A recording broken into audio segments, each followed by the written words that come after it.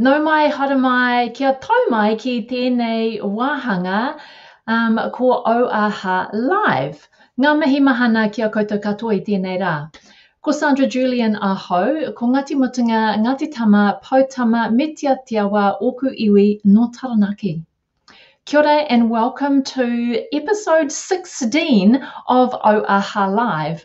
I appreciate that you are here with us today. I'm your host, Sandra Julian. I'm the founder of Auaha, a business event agency and approved professional conference organizer. Thanks for joining us for this episode of Auaha Live. Please don't be shy, drop some comments in, join the conversation, ask the questions. If we don't get to you during our live session today, we will definitely come back and answer your questions in the comments. Um, during the sessions, uh, I am interviewing the many talented people who work behind the scenes of the business events industry in Aotearoa. And in these sessions, uh, they are designed to provide you some insight to what goes on behind the scenes when delivering a business event. It is my hope that you will take away a nugget of value from these sessions and use this information to level up the business events that you're involved in. My guest today is a professional MC, keynote speaker, performance artist, and event consultant. He has presented or performed more than 1,000 events. Like, that's an incredible number. Um, and he's done that in over 35 countries around the world. Again, phenomenal. So, I'd like to introduce you to my guest today, who is Greg Ward. Greg, welcome to Auaha Live. Kia ora and kia ora nui mo tō te reo. Uh, just beautiful. What a wonderful way to start. Uh, ko Pokotautere te monga, ko uh, Manga Tawhiri te awa, ko Ngati Pake a te iwi, ko Air New Zealand DC-8 in 1972, Toku Waka, ko Greg Warder Ho. I love that, Greg. New Zealand. I'm an import. That's great. Love it. Um, thanks for joining us here today. Uh, I've like I was, you were on my wish list to get you onto the show because during this lockdown period, I saw your studio evolve into this amazing like production center. So we'll get to talk about that all in a minute. But let's start by maybe just giving a bit of a backstory to everyone on what has led you to this point in your career. Uh, thanks, uh, Sandra. I'm I'm absolutely uh, pleased as punch to be here. Uh, I've I've seen your series going on, and, and I've been very envious. and so, so having the opportunity to come and join you on here is absolutely brilliant. Um, so, uh, potted history. Uh, my career path has been anything but uh, a straight line. Uh, I've done a, what feels like a million things over the course of um, my career, and every single one of them has lent itself to exactly what I'm doing right now. So starting mm. as a kid, as uh, uh, performing in school plays and shows, uh, singing and uh, training, uh, learning musical instruments and the like, uh, which led on to bands in my teens. and at the same time, I was I was always mindful that I should have a real job, and so I kept on forcing away or pushing away this this burning need to perform or to get on stages. And uh, I got a lot of different skills in different areas and ended up joining the military of all things. Uh, mm. So I spent four years in the army and the Royal New Zealand Signals. Learned a lot about communications, and almost immediately after I got out, I travelled across to Europe. Now we'd immigrated to New Zealand when I was three years old, and until that point, I was hmm. staunchly British. and then I got to the UK, and after my time in the UK, um, I realised where my heart was and that was right mm. here in Aotearoa. And so that for me was a real recognition. But while overseas, I had some further performance opportunities. Was signed to a record company in in London, uh, performed around a number of different clubs, and again, you're continually gaining experience in front of mm. audiences. Uh, returning to New Zealand, still going for the real job. I was working in IT, and again, I've got a, a ah. technical bent, so I quite enjoyed that mm. process of learning troubleshooting, logical flow, uh, and at the same time started really training on the performance side. And that's when I really realized that what I wanted was to be on the stage. So trained for three years as an actor using the Meisner technique, seven years of opera uh, musical theatre training as a singer, mm. and toured with opera around uh, New Zealand and Australia. Um, continued to grow as a musician, uh, so picked up the piano, started doing Elton John impersonations and tributes with that. Then came across this wonderful thing that we call the business events industry, mm. which I was really not aware of until probably the early part of the 2000s. And in that moment, I uh, partnered actually with um, what is now BEIA, but was then CINZ, to provide some performance entertainment with a colleague uh, in return for a stand at meetings. And that moment, I just saw how big this industry was. And shortly after that, I was hosting uh, one of the, the CINZ conferences, and TNZ were there presenting about the business activity survey.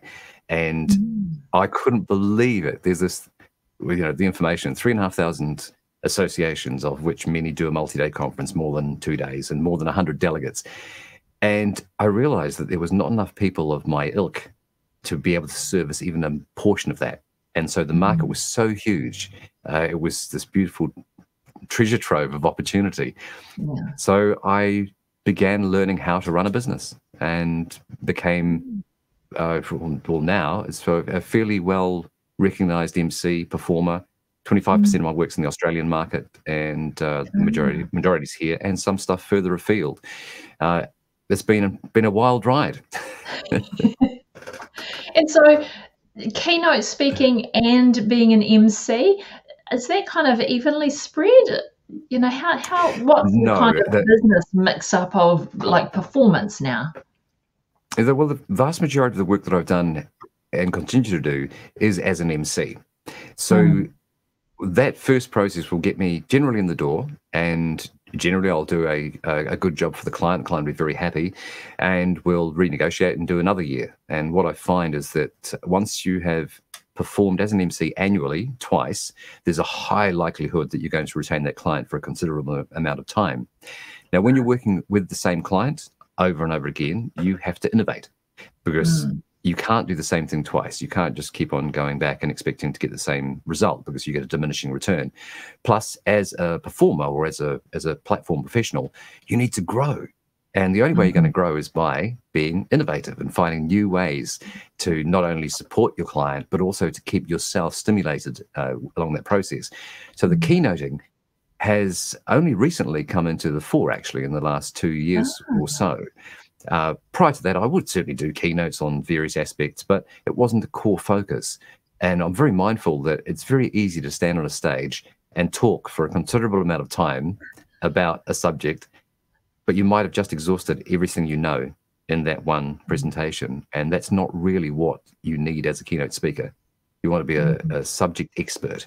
Now, I, with the work I've done, have become a subject expert in this role, emceeing live, virtual, digital, however you want, want to call it. Uh, mm-hmm. and the keynoting is still on its growth phase. So it's um, mm-hmm. it's exciting. It's interesting. It's uh, it's wonderful opportunities. Nice. So 25% in Australia and like 75% here with a scattering around the world. What what does yep. that, that, how did you how did you manage to like build the divide of that, you know, across the ditch and getting into those events? Because sometimes it, it can be it can be difficult because event organizers and associations they want local so some of the events might travel around and they have a local committee and they want to do as much local as they can. So to then get you, you know, 25% of your business being in Australia, that's mm-hmm. that's like a decent chunk of of business. So ha- how does how does that happen, or how does that um, work when you're based here? Well, that's a uh, the story actually of, of how all this came about was I was asked to do a conference by an Australian client who cold called me from Google, just oh. searched me somehow, got a hold of me and said, Hey, you, uh, we're doing this event in Queenstown. Can you MC it? Uh, so, of course, I'm going to say yes. Uh, yeah. So, I put a bit of a um, uh, proposal together quickly and sort of sent it across to the the uh, uh, the client just to basically say that I was available for the dates and so forth, uh, and that I w- he was based in Sydney. So I said I'm I just happen to be in Sydney um, next week, and I'm wondering if I can catch up with you. And he said, Yeah, that'd be great. Uh, so I got off the phone and booked a flight. Uh, because I wasn't going to Sydney. Um, I had no intention of going to Australia, uh, but this was too good an opportunity to pass up. And so I spent about a grand in total uh, on that one opportunity to fly across to Sydney, turn up at their office, have a maybe three quarter of an hour conversation with them in the office, um, walk out, try and catch some some more potential clients while I was there, and come home same day. And that experience for them showed me showed them that I was accessible and that I was mm. quite prepared to do what I wanted to do. They didn't know that I wasn't going to be in Sydney, and I wasn't until it was only a couple of years later that I told them. That that one opportunity turned into another opportunity uh, with the same client, but also I, I, do this technique which I call spider webbing. So within that group of people, there's going to be other organisations that require the services of a professional MC. So it's my job um, to ensure that they're going to get a professional MC, and I'll do whatever I can to to sell the services. And so I started working with another range of Australian clients based on that first client. And that mm. spread out and spread out. And I can track very large amounts of money back to that one particular client over what is now 15 years of, wow. uh, of, of work. And then I started getting work in off the back of that. Uh, I started connecting in the meetings trade show uh, with uh, particularly and specifically with Australian clients or potential clients. And that generated further business in the Australian market. And so I started getting a range of both corporate and association work. Uh. And that's been further bolstered by uh, an association with uh, OSE. So that's given me further connection, further exposure to that market. And I continue to work pretty much always on a partnership basis. And it's always been my ethos mm-hmm. uh, that, that uh, I do a thing called a triple win, which is the client wins, I win, and the event itself wins, and that's in its entirety, including sponsors, delegates, and all that go with it. And and I approach the market with that ethos because it's mm. about it's about you. It's always about it's always external. An MC's role is hospitality. It's really mm. about you. So whatever I can do for you, it's that's what I'm going to do, uh, and it's stood me in very good stead. Yeah, and I think that's where I think our industry. It, is always about you. Like our industry in New Zealand, the business events industry in New Zealand, everyone that I work with, it's always about you. We're here to serve the client. We're here to, you know, make the delegate feel comfortable. We're here to create the experience. We're here to, um, which is what I really love about what we do here. Like I, I don't have a huge amount of experience working offshore because I've made a conscious effort to stay onshore here in Aotearoa. So I don't have a huge experience of what others are like, other than you know things that you hear around the grapevine. Um, but definitely in New Zealand, I think our business events industry is always focused on it's about you. What is it that we can help you do, you achieve, and you be the best that you can be? How do we shine the light on you? So, yeah, I love that. That's how you've been able to win over, um, you know, Australian clients as well as New Zealand clients. But I love that story around just getting on a plane and going to Sydney. But you know, best thousand bucks you ever could have spent if you can track that back yeah. 15 years worth of business. You know. Well, and that's it's not an isolated case either. I mean, those those kind of opportunities do come up fairly frequently, and it's how we react to them as yeah. business owners, and uh, and how connected we are to uh, who we are and what we want. Yes. So the another ex- experience of this was with a Swiss-based organisation that were looking for an MC um, for their world conference. So very luckily, the CEO of this organization was an expat New Zealander. Um, ah. Who had happened to have been traveling around and had seen me in three different locations presenting for an for engineering clients, and he just mentioned casually at, at a dinner on one of those nights, he said, "I'm just trying to pitch you in front of a thousand delegates in Barcelona." And uh, I, and I said I'd love to. I'd love that'd be great. And it was kind of uh, like a throwaway kind of thing. And he and he just said, "Oh well, you know, like if you want, if you like, you know, why don't you put a pitch in?" So I got home from that particular conference. The next day, I hired a television studio. I hired a. Spanish speaker to translate a piece for me, and then I learnt it verbatim and uh, presented it straight down the barrel of a camera direct to the audience saying how much I would really enjoy to be their MC. And I know that I'm from the other side of the world, but I'm really passionate about language and I'm talk, passionate about these things. Uh, that went to the committee. Uh, went, we, I was shortlisted down to three, then down to two, and then I got the job. And uh, I flew to Barcelona, did the job, and it wasn't till again probably a couple of years later I I asked uh, the gentleman uh, why I got it. And he said that the other individuals were more cost effective, but I wanted it more. Oh. And and it was the drive and the passion to actually do that, um, uh, which is absolutely brilliant. And and he's back in New Zealand now, and so it's in Enrico yeah. Vink, and he's back here in New Zealand, and the organisation was FIDIC, the International Federation of Consulting Engineers. So I, nice. I, I thank Enrico extremely for the wonderful opportunity that he afforded me. Yeah. And so was was that before video became kind of a normal place in marketing because videos really become really prevalent as more social media has taken over um, our everyday lives. But was that in an era when video wasn't such a commonplace?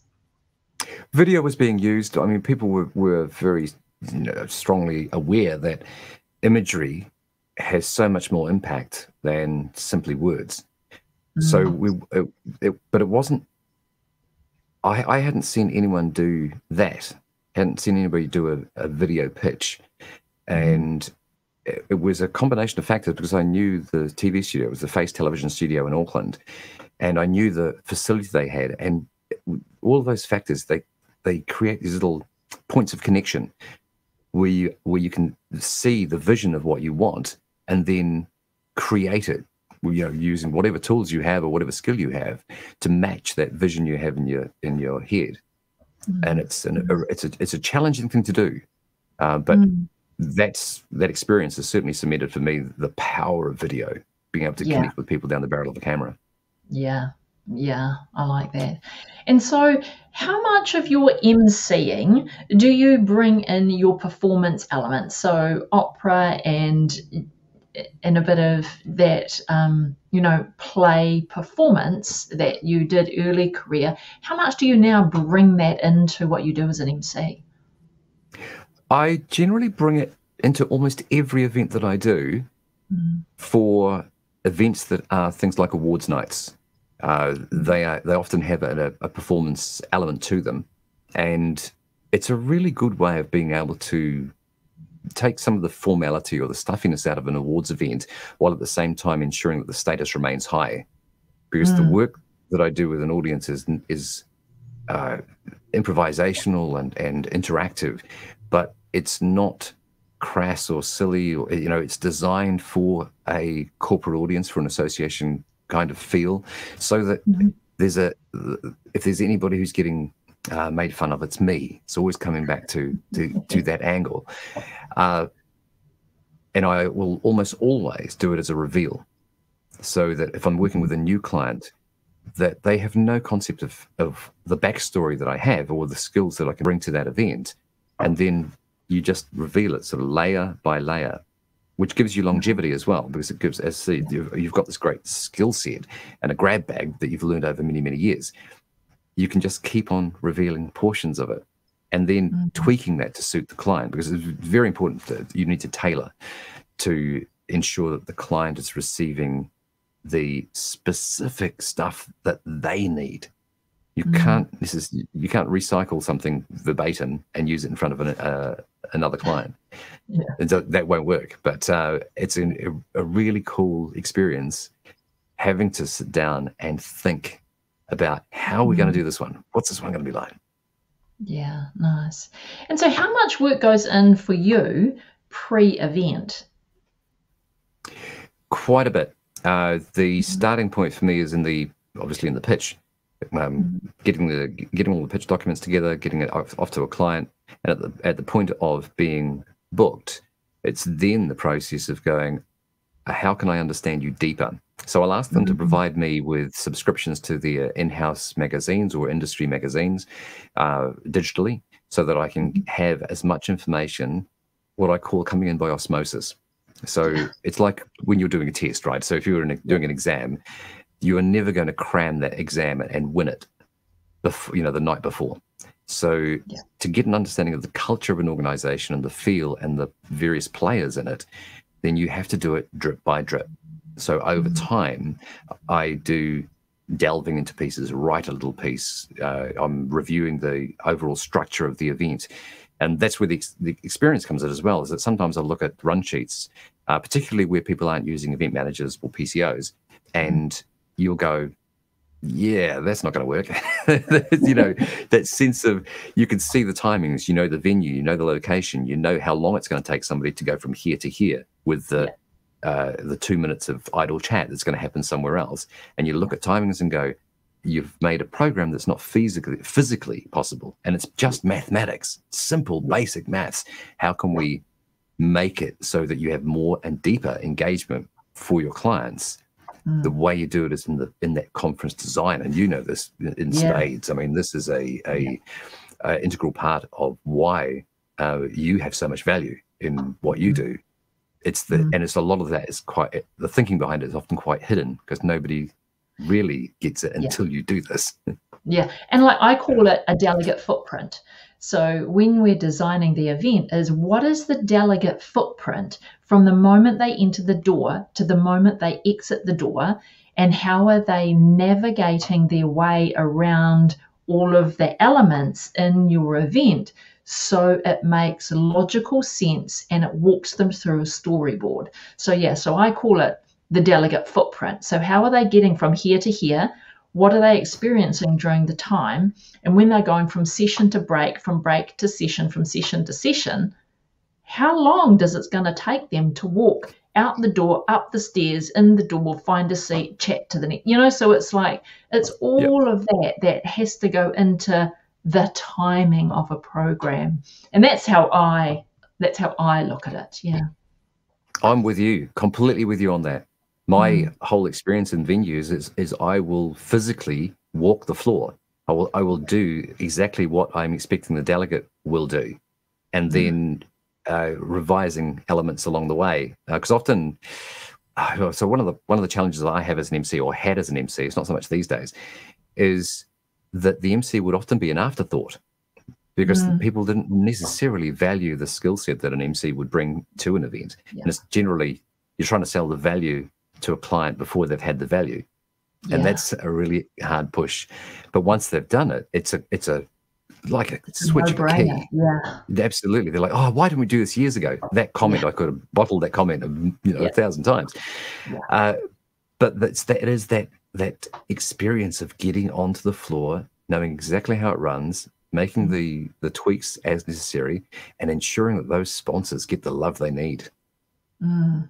Yeah and put in the program in the right places because sometimes that those speaker the speaker acknowledgements and the sponsor acknowledgements if they're put in the wrong place in the program for the mc just falls dead, has little impact. Yeah, so it's that whole yep. what is being spoken from stage, what is being directional, what it, yeah, that whole piece comes into it. So it's interesting to say, you, you know, what the difference you get from working with a PCO and working with a non PCO and the the contrast in what you get as an MC. The interesting thing is they actually see the value in an MC. Absolutely. And you know what? This year, or should I say last year, uh, certainly has changed certain sectors of the um, association institute market uh, mm. significantly. Like organizations that would predominantly never use an MC, uh, realizing that in a digital setting, it's critical that they have somebody who's got the ability to connect with audiences down the barrel of a camera and live mm. because of the, the nature of, you know, we're either live, live, digital, or hybrid. So this is a skill set that is not within those organizations currently. Mm. uh, which has led to some significant market opportunities. Okay, so let's go to March. This time last year, when the world went into lockdown, all us PCOs had a big freak because all of our contracts got, you know, we're out. It was cancelled 100%. MCs, speakers, anyone involved in live events, tech, themers, everybody, it just went, doors are shut. Tell me what it looked like in your world March last year. Well, I'm going to start in late February last year because I mm. had this little inkling, and it, and it was not wasn't because I I'm in some kind of you know prophet. Uh, it was because I had a client who had been looking around the world because they were looking at bringing a number of uh, uh, international speakers to their conference for 2020, and had seen what COVID was doing so I had this meeting where I turned up about five minutes late into a virtual meeting. So we turned up on, on Zoom. We'd been using Zoom for a, uh, a couple of about, for about a year actually, a, a, for the occasional meeting. And I heard the convener say, "And that's why we're going to cancel the conference." And uh, that was the first thing I heard on uh, in the room. And so I listened for a little bit longer as was sort of information that's going around. And I had my turn to speak. I says, no, don't cancel it. We'll just go virtual. And then I blithely rattled off how we could potentially make this take a three day conference, turn into a one day um, symposium, uh, cut all of the 45s down to um, 15s uh, with lots of Q&A, connection, inter- interactivity, and so forth. I was making this up. I was literally making it up. Um, I hadn't done that. I'd never done it. I was thinking to myself, "This is," the, but I'm I, am i am not going to lose this client. It was my thought process. so it was a, a, lot of that same sort of process of you know filming a Spanish speaking piece. So. Uh, and the convener said, "Wow, love it! This sounds really good. Let's explore this. Go, let's let's do it." So we started that process of exploring, uh, and the conference wasn't going to be till later in the year. So we left it there and then I went to Australia for a convention, which was the Professional Speakers Australia convention. Got there and started receiving phone calls, and that was on the 13th of March. And mm. then we've got phone calls on the 14th of March, and we, as professional speakers in in this convention, are all looking at each other and going, "What are we doing? What's happening?" Everyone's fielding calls with cancellations constantly. Uh, till the 15th, got to the 15th of March, and the conference was scheduled for another two days. And I just pulled the plug. Uh, flights were virtually impossible to get. People were trying to travel all over the place. Um, paid thousand dollars to come back home on a in New Zealand uh, regular seat, um, uh, but got back to New Zealand and went into 14 days of quarantine. So I was I'd arrived just before the end of the actual lockdown, but mm. I couldn't guarantee where I'd been or who I'd seen. So I spent 14 days in this room actually that we're currently in right now. My wife was wonderful. She just she brought meals out to me here. Um, we went for walks at night. Uh, I would walk two meters behind the family when we walked down the streets. Uh, but it was it was an incredibly cathartic time every single mm-hmm. booking, every single piece of business was either cancelled or pushed out to 2021, and a lot of those being pushed out to 2022 now. So by the end of March, I had zero work, no opportunities, mm. and looking towards the future, going, "What are we doing?" What? Yeah. But at the same time, weirdly, with that loss of all of the work, came this incredible sense of no more responsibility. I didn't have to do the work because there's no work there. So if there's no opportunity to make money and if there's no work, what does that leave? It leaves time and it leaves a, a, space that I hadn't had in my mind for a long time because you're constantly working, mm. right? You go from event to event to event. Mm. It's the, mm. the same old, you're on, you're on that treadmill, you're going to keep working because that's your business. Mm. But I had time. And so I went, okay, so if we're going to talk about this virtually and that's what it's, what it's going to look like, what are we going to do? So I had I didn't have a webcam at that point, so I I called up a mate of mine who just happens to be one of uh, was was at the time the CEO of one of New Zealand's largest computer retailers, and he dropped over his own personal webcam in my letterbox, uh, an old 720p um, Logitech cam. So I got that up there. I needed lighting, so I found an old garage light that I had in the garage, you know, the old cage light kind of thing, and I rigged that up on a stand directly in front front of me. Uh, I went, didn't go to Spotlight. I rang Spotlight and got them to deliver to me uh, 16 meters of lime green cotton fabric at $10.99 a meter and threw that up a couple of um, speaker stands that I had over the back, jerry rigged it all up. And thankfully, from an audio side, because as a musician, I, I have a fair amount of audio gear. Uh, I have uh, compressors and noise gates and mixers and uh, high quality voice microphones because I do voiceovers too. Right. So that audio side was set, but right. the rest of it I had to suddenly build. Yeah. Uh, but even just using those very limited tools, I had a wonderful call from uh, a guy called Julian Lefebvre, who's in uh, Australia, who I'd worked with about six years with the um, Health Informatics New Zealand Digital Health Week. Yeah. And he would do the online portion of the event, and I would be doing the live portion of the event as the mm-hmm. MC. And we'd gone a little bit deeper in, in over years and created TV studios and all sorts of different things. Um, uh, that's uh, Kim Mundell, who's the CEO, incredibly forward thinking, just wonderful organization. And he called me up and said, uh, Greg, what are you doing? Uh, I've got an event that you might want to do some work for. Can you do a virtual event? I says, no problem. So I did this, exactly what we're doing here. Set it up, got myself green screen, backgrounds, and and turned up looking like I meant business. And that mm-hmm. one event has turned and spawned many more. And uh, I'm now working with a number of different clients uh, that I've connected through Julian and, and through uh, JPL Media and Gig TV uh, and other sources, and have ended up becoming quite well known in the Australian market, uh, worldwide market, and New Zealand market as a professional virtual MC. Uh, and as we're starting to see this year, uh, we're starting to get a bit more live coming through. So that's that's coming back in, and I've you know, got a lot of inbound inquiry, which is always good. But mm. 2020, incredibly hard. Um, we consider ourselves very fortunate at running at roughly 60% of what we turned over in 2019. Mm. And that's tough. Uh, yeah. and I, I say I'm very fortunate because I know of colleagues in the industry, uh, organizations who have not made it through and who yeah. are still on that edge right now, others who are still on the edge right now.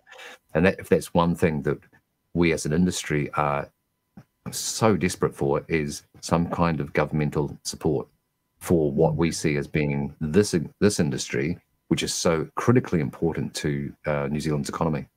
Mm, yeah, I agree. I mean, I'm surprised that the amount of suppliers that are still in some capacity operating in the business events industry. Um, we've been a, a resilient bunch of people who have managed to, I would say, hop our way through um, and, and be quite diverse and think outside the box as to what are we doing in our business during this time. But the other thing that I've seen people say too is, do I want to be here? is this an industry that I want to be in? Because now is my opportunity to rethink what I'm doing. And and so I know a few businesses too have had that thought. Do I want to stay or do I want to go? And yeah, and so I've I've been completely in awe of those businesses who have had to reinvent themselves and had to think outside the box in order to stay but I think it's been a good thing because sometimes we can get stuck in this is what I do because this is what I've always done. But having the yeah. To go, okay, that's what I've always done, but is that really what I want to do? Or can I evolve into my next phase of business and what does that look like? So it has been super interesting watching the business events industry go through this. But yeah, and that's why I started Auaha Live because I felt like we were the industry, the hidden industry. It's no one really saw what we do in a business events industry. People go to conferences and they go to events, but do they actually realize the level of production and the livelihood of people and small businesses and families that live behind the business events industry that had no way of recovering itself while COVID was still, you know, a possibility. So, yeah, it's been extremely difficult. And yeah, more government support for those businesses who just haven't had the ability, like you and I, to come into a virtual world um, would have been would have kept our industry strong because once the gates open again the challenge for us here is do we have an industry that can support those international conferences coming in and if we don't have an industry to support them coming in then that's just that takes the whole economy away and we have to like start from scratch again so yeah more government support would have been great you know, in specific targeted areas rather than blanket um, approach for sure. All right, Completely. what I would love to do now that I'm off my high horse, I would love for you to give people a look at your studio oh, because oh, sure. this is what blew me away. I'm like, oh my gosh, Greg, you like that's high tech. Look at that, people. Like this is Greg's studio. How many laptops is that, Greg? One, two. Okay. There's uh, in the shot that you can see right now. There is uh, there's two in the center there. Behind the screen, which is just underneath the microphone, uh, behind that screen to the left hand side of it is another uh, laptop, which is a uh, device that I tend to use as, as, a screen recorder to ensure that whatever I stream out is actually what's going out and what's what's being received by a client. Uh, and then directly to my left, I've got another machine which is designed as a uh, PowerPoint machine, which will provide you know, a range of well, imagery or, or video, whichever I want, to be able to place into these scenes. And the camera that we're currently viewing this on right now is a uh, just an iPad. So that's up on a um, on a stand, and it's connecting into my system via a thing called NDI, which is a, a network interface, which allows you to use your internal uh, network um, to connect with uh, relatively low latency, uh, which is a, a, really nice little tool. Mm. the screen to the right of my central laptop is a secondary monitor, so that gives me the ability to uh, review what's uh, what what we're actually doing at this particular point in time, or I can place pretty much anything on that uh, screen. Laptop down just directly in front of me is my business laptop, which covers all the whatever's coming up next and uh, all the, the angles, but it often is used as a media machine as well. So when I'm doing live streaming, I can use that machine to send video to the uh, ATEM Mini Pro, and that's I'll just move my cup out of the way. And the ATEM Mini Pro is this little device here. Right. Oh, we can see there. That's a uh, broadcast studio switcher. So that gives me the ability to take four different um, HDMI sources and turn them into a single stream within the system that I'm using. And what I'm using right now is OBS, which is open source mm. broadcast software. And mm-hmm. this gives a, you know, where how I can do these transitions, sort of bouncing in backwards and forwards, very simply. I can do overlays, we can do uh, pictures and pictures and so forth. There's a yeah. bit of a learning curve to it, mainly on the audio side, uh, but it is integral to the business that I do now. And uh, I'm continually adding and upgrading to the studio as well, just to uh, you know continue to to grow it. Uh, in fact, yeah. I've just come across another app called iMix 16, which is a media player which just goes on an iPad and connects via HDMI with a whole lot of brilliant controls on it, so that you can do uh, fade to blacks, um, or just fade just audio, or keep the, the video running. Plus, does still images, does audio, so many different things. So I'm trialing that at the moment as a as a source um, you you've got to keep learning, and yeah. in this game, you don't know what you don't know, so yeah. you have to continue to research, to learn, to very swiftly assimilate, and try and keep up with all the changes in the various online platforms as well. Uh, yeah. So there's different changes that happen in Zoom and and, and Teams, which is uh, mm-hmm. which actually can be a really challenging platform, WebEx and and the like. Mm. I'm just so impressed that you've yeah taken your 99% in-person MC business and then switched it into what I would consider high tech um, with yeah lots of options to do multiple different things as an MC. So I was blown away when I saw your setup because I'm like, you know we we morphed into doing virtual events and we've we did our first two virtual events without a tech company. We did them all ourselves in house using our team with our software. We've got a platform. We utilized zoom and it worked brilliantly. Um, so yeah and I, my team were like do we have to do this can we not get a tech company this is not our like little forte and i'm like but it's doable so yeah, and I thought we were like, you know, when we moved virtual, I'm like webcam, lighting, microphone. I'm like, okay, that, that that's all I need. so yeah, so when I saw your setup, I'm like, Greg, that's next level. I, I gotta say, I, I, I do enjoy my tech. Uh, you know, I, I have to be a little careful. I'm on various different groups around, uh, you know, on social media. And one of those is remote speakers on uh, Facebook, oh. which is a brilliant group. There's over a thousand people on that uh, on that group now worldwide. Uh, relatively small amount of people uh, continue to, you know, do a, do a lot of posting. Um, I quite enjoy getting in and, and, and chatting away with various various people around the world. And it's the sharing, really. It's we, are yeah. all we've all come in this together, and and the only way we're going to get through it is by uh, sharing the expertise and mm. to uh, to the vast majority of it, we're not competing. Mm. We're uh, and I've always said this. I'm I'm never competing against anyone else. The only mm. person I'm competing against is me. Am yeah. I a better person today than I was yesterday? And how can I get better at the job that I'm that I'm doing and provide you know continuing uh, skill and expertise to a client? Yeah. So that's that's really the, the uh, that um, that element there.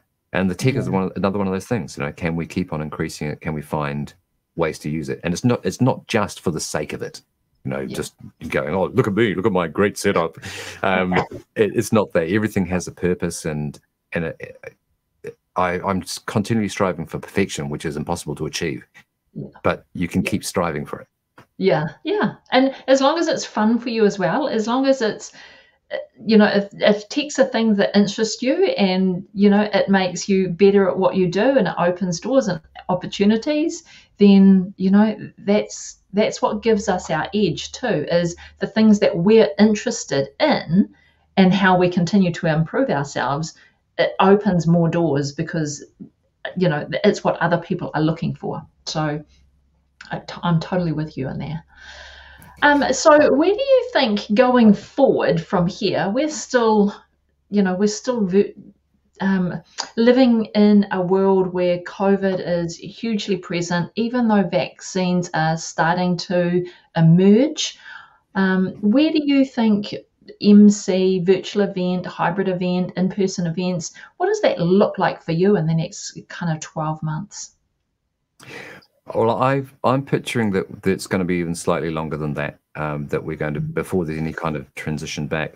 Uh, historically, if you look at other world major events, it's kind of like a three-year cycle before anything really starts to make uh, make more sense.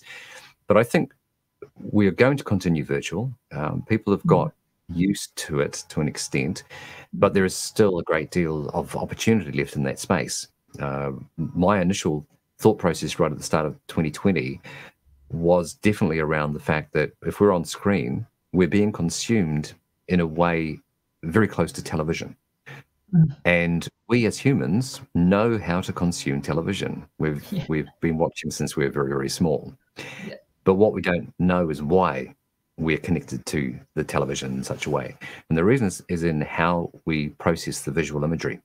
So if you, uh, and I'll invite you to do this, and I'll invite all the viewers to go and do this, is uh, watch the television news or watch a drama, and then simply count the number of seconds between each cut.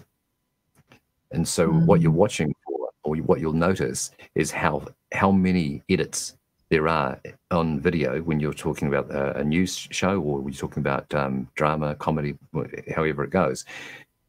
In this environment, as we're sitting here, we are a talking head, yeah. and we don't have those the uh, fast edits, which mm-hmm. are visual stimulation and the music and the emotion that goes with that television side of things. So, what I've built, I've built a product uh, which is a live stream television show which I'm uh, working with various clients on. And uh, I've got a fortnightly streaming show for the Building Officials Institute of New Zealand.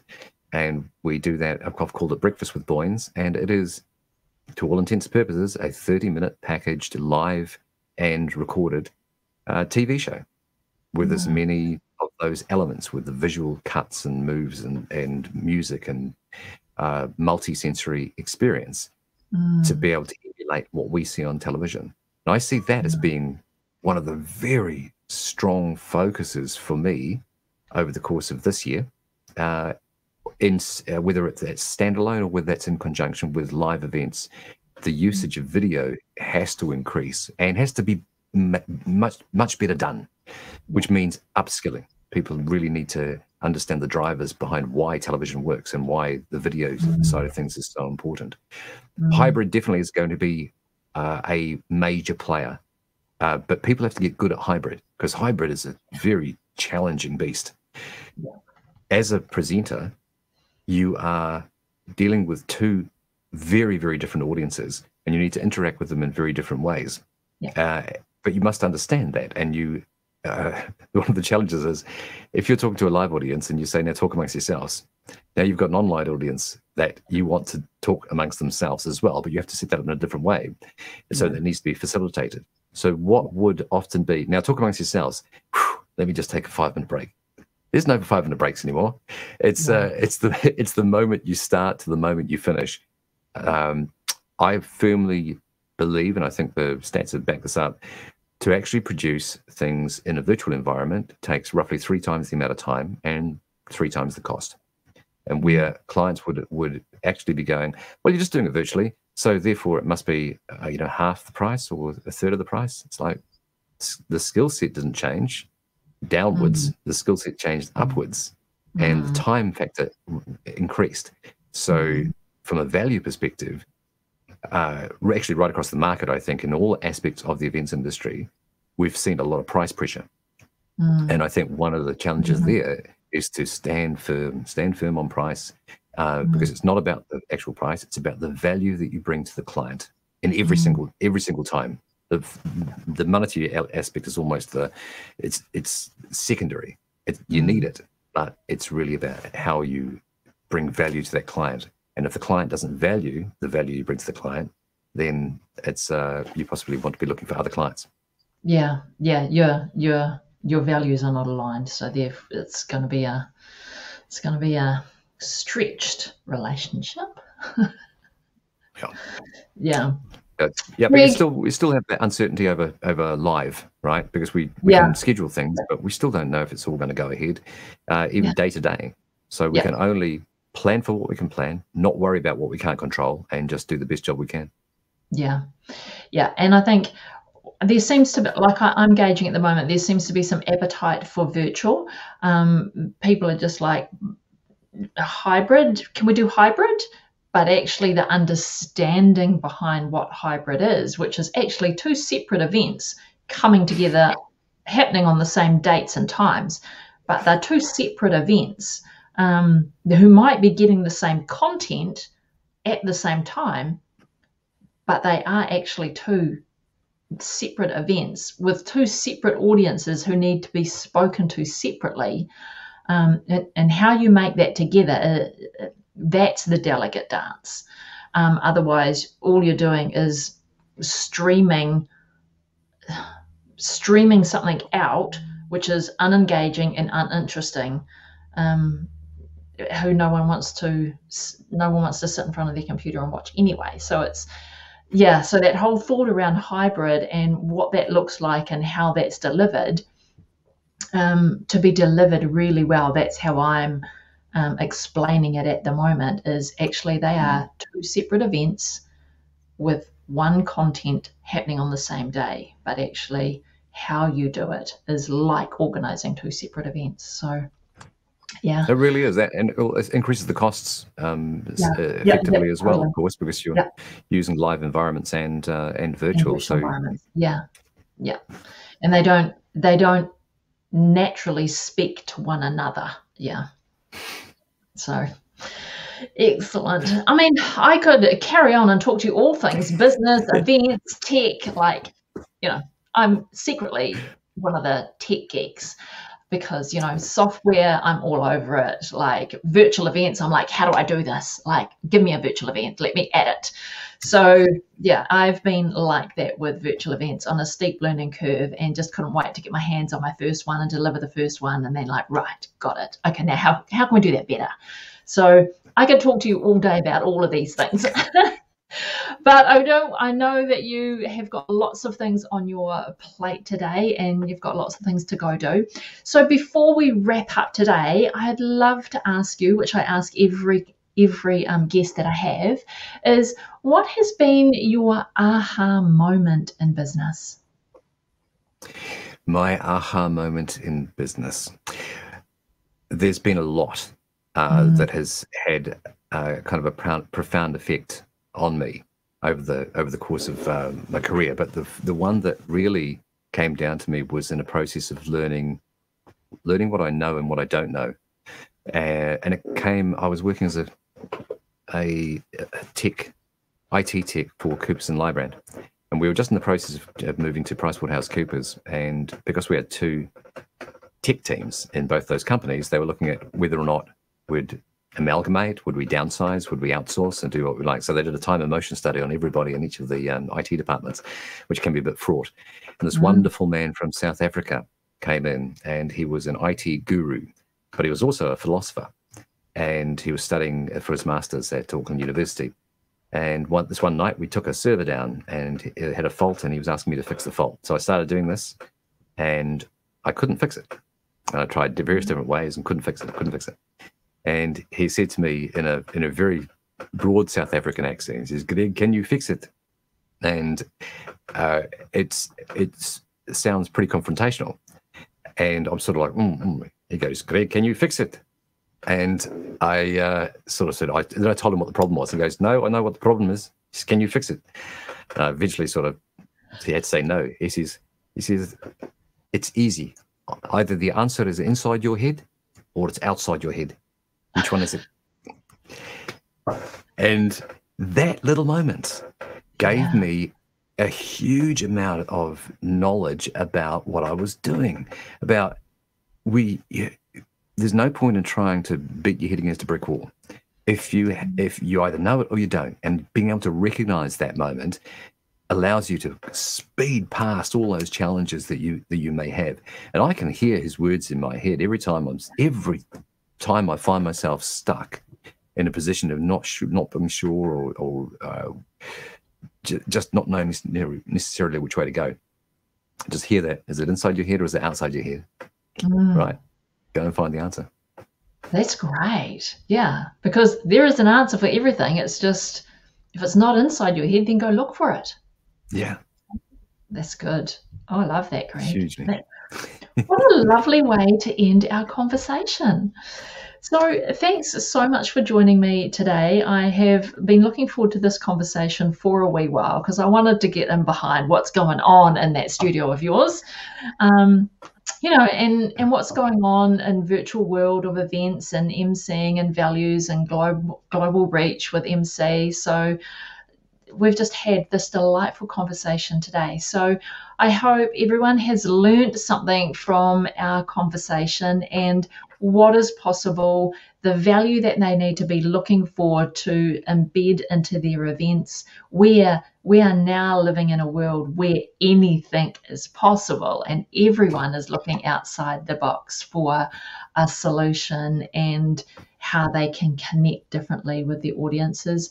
So thanks for being here today. I've appreciated your time so much. Oh, my absolute pleasure, and thank you so much for the invitation.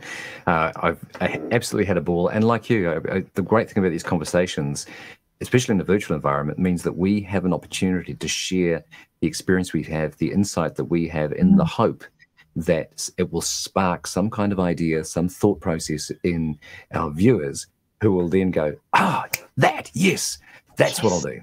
Yeah. Yeah. I appreciate Absolutely. it very much. You're welcome. All right. Thanks, Greg. I will talk to you again real soon. Kia ora. Okay, everyone, that was a fantastic conversation. I hope you got a takeaway from that, whatever that was that means for you. But mostly for me, I loved what Greg said at the end. If it's not inside of your brain, it is outside of your brain. So go look for the answers. I will be back here in a fortnight's time with our next guest, and we will be talking probably about sponsorship and exhibitors um, and all um, the peripheral things that need to go into a conference alongside a formal conference program. So I hope that you will join me back here in two weeks from today um, for the next conversation with a lovely person one of my colleagues, and another approved professional conference organizer. Um, but that is it for today. What I would love for you to do after you have left us a wee comment to let me know what your takeaway was from today is to share this with your networks. So if you're watching on LinkedIn, share it with your networks on LinkedIn, share it with your networks on uh, Facebook or snap it onto Instagram or tweet it out on Twitter. However, you do social media, please share the Auaha Live episodes so we reach more people and we help those that are in those that are organizing events get some insight to help improve and level up the businesses that business events that we do here. If you want to be notified about our next show, you can join our Facebook page, join our LinkedIn page, or you can hop over to our website, auaha.co.nz, sign up for our newsletter, and we will drop a little email into your inbox so you know what to expect next. But I appreciate you for joining us here today and joining us every week. Uh, until next time, mā te wā.